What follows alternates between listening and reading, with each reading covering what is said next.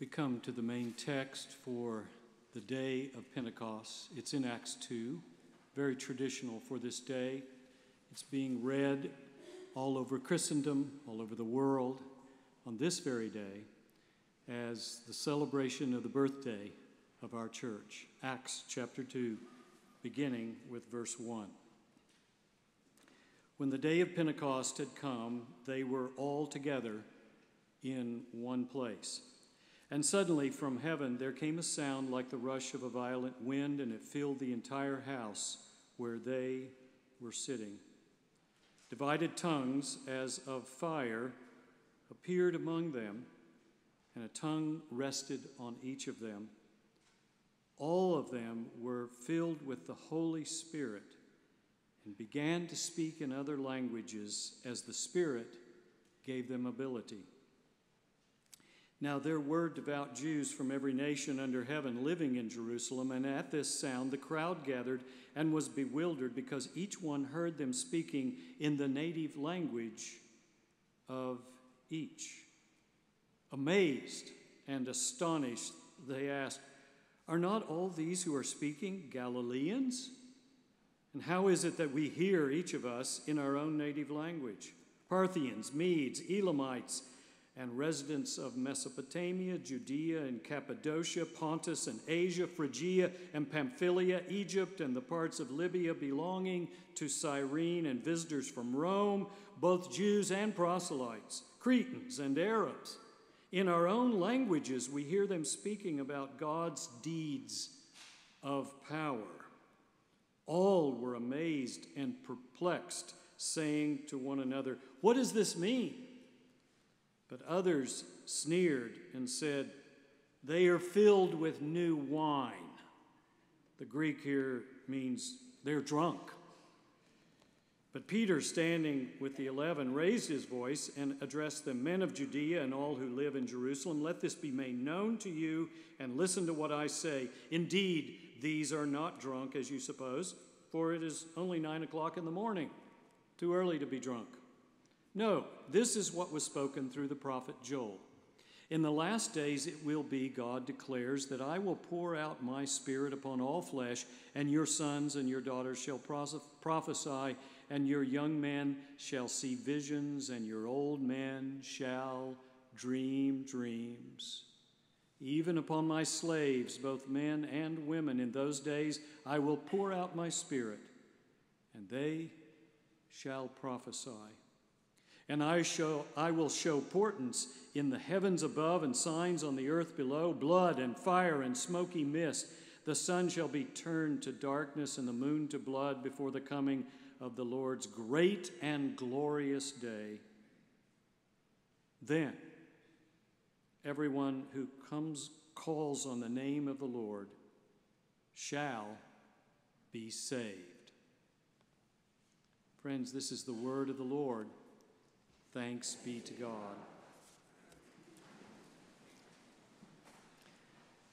The dignity of difference, that is the subject before the House today.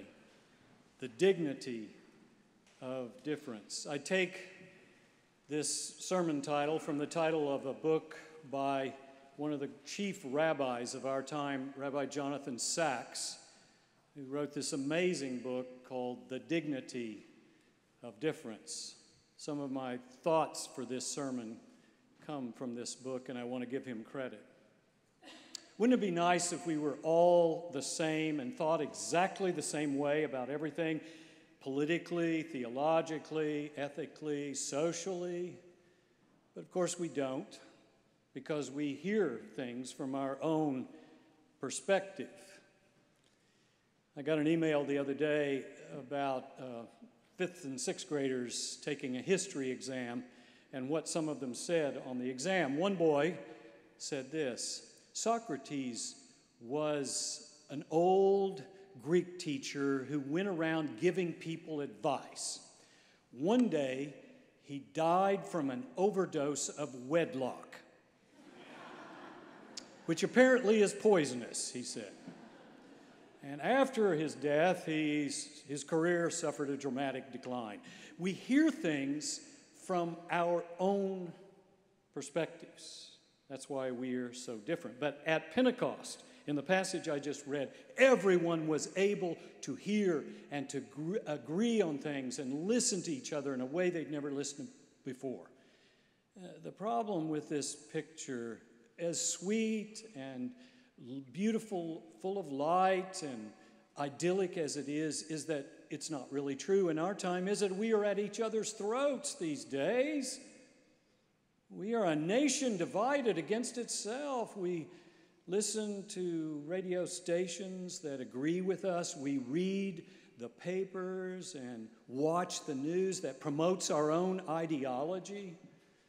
E.J. Dionne was on the Diane Rehm show one day, and he was making this point that it seems worse than any other time. Oh, we had the 60s, yes, those of us who are old enough remember the 60s, but it still seems more sinister now, more difficult than that, says E.J. Dionne.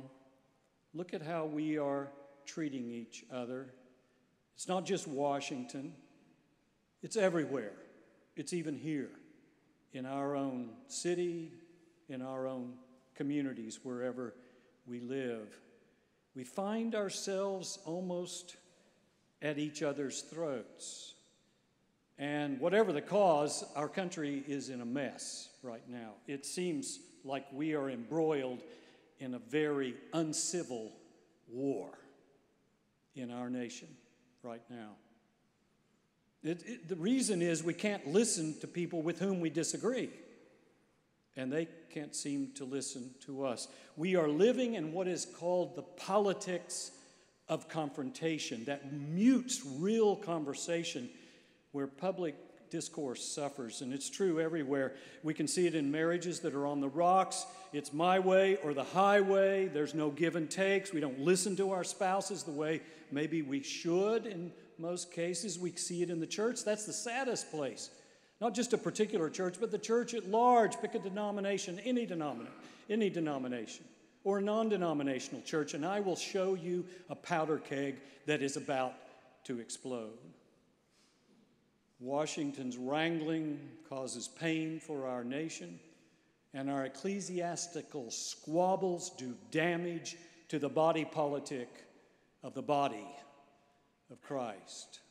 No wonder atheists scoff at religion's influence. Rabbi Sacks says in the conflict zones around the world, whether it be Northern Ireland or Middle East or East Timor, religion is at the cutting edge of the confrontation, reminding us of Jonathan Swift's acid observation that we have just enough religion to make us hate one another, but not enough religion to make us love one another.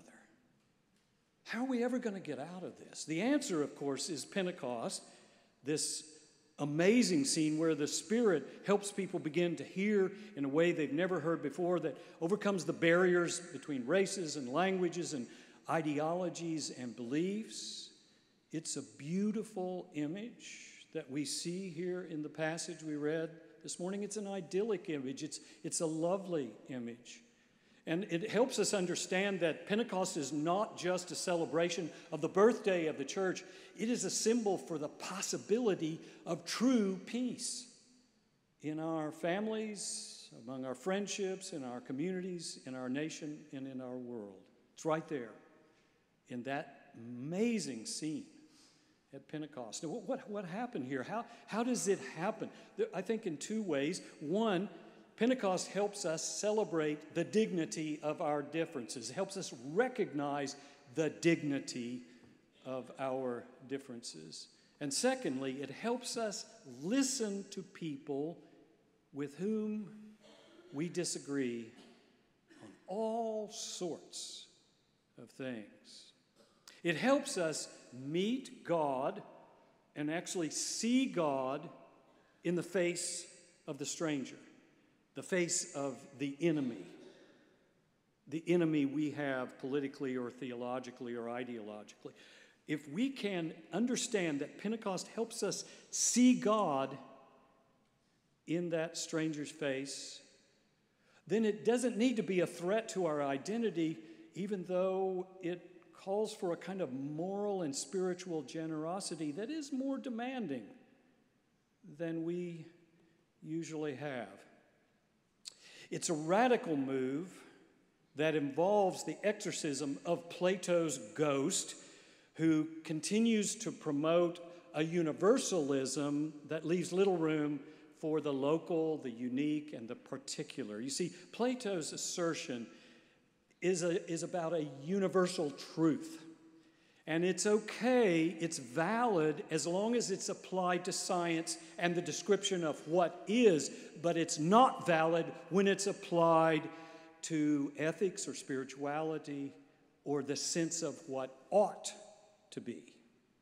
See, this is the difference between nature and culture. Cultures are like languages, they are infinitely varied. Think about it. English is not Spanish, French is not German, Greek is not Chinese, and so forth. Each language is the product of its own community, its history, its shared responsibilities, and its sensibilities.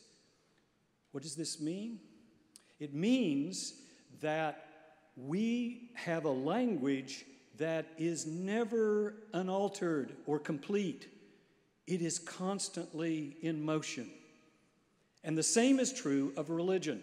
So, Sacks offers this. Rabbi Sacks says, remember that the God of the Bible is not a Platonist who just sort of goes around loving humanity in a sort of uh, some abstract form of humanity. No, the God of the Bible is a particularist who loves each child as that child is, choosing Isaac, but also blessing Ishmael, you know, favoring Jacob, but also telling God's children not to hate Esau. So the God of Abraham and Sarah teaches all of humanity a more complex truth than is possible by simple oppositions to one another.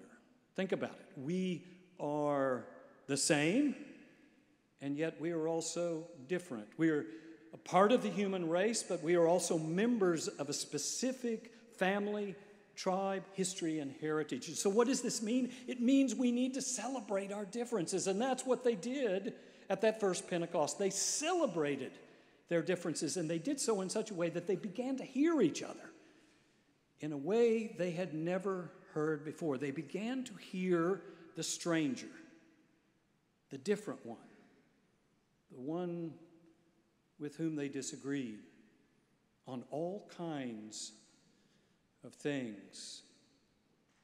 Think about this for a moment. Did you know that the verse, love your neighbor as yourself, is in only one place in the Hebrew Bible? The Hebrew Bible says, love your neighbor only once, but love your stranger, love the stranger in your life 36 times which means that we are called to listen in a way we have never listened before. It means walking a mile in someone else's shoes. Not the way the comedian Steve Martin says it, you know. He says, Oh, walk a mile in someone else's shoes. Well, look, that's pretty cool. You get to be a mile away from that person and you got their shoes. No, it's not that way. No.